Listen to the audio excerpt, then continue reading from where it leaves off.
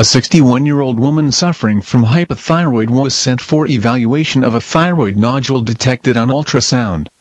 There are hypoechogenic lesions in the upper and lower part of the moderately hypoechogenic lobe. Longitudinal view. Right lobe horizontal view. There are discrete hyperechogenic echonormal areas. These are not nodules in pathological sense, but correspond to secondary lobules not or less influenced by the underlying thyroiditis. The basic echostructure of the thyroid is moderately hypoechogenic. The vascularization is increased, but it has no relevance in this case.